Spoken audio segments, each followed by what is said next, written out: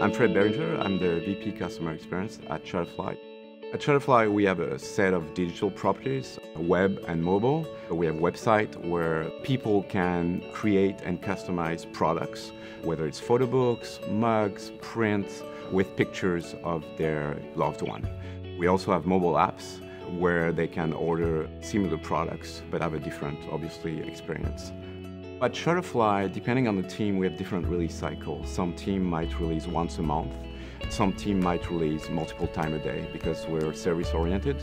And so in order to keep up with the cadence, we have a mix of automation that is very important for us to get quick feedback to our engineer.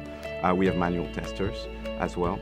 Applause is very important for us because it's for me, it's another option to be able to keep up with that cadence. They give me the ability to scale my team when I need it, so it's kind of on demand. We have very important events and peaks like Father's Day, it's Mother's Day, so it's important for me to have option to be able to scale my team and to scale my testing.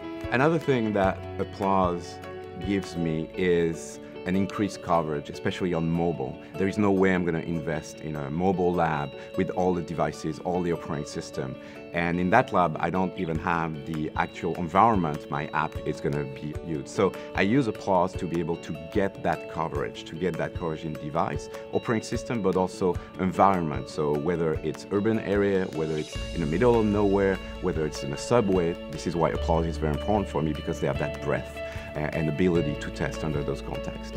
Applause, for me, is a partner that helped me increase my confidence when I launch any digital product. Each partner have that slice of confidence that I need when I push something on production, and Applause is a big part of that.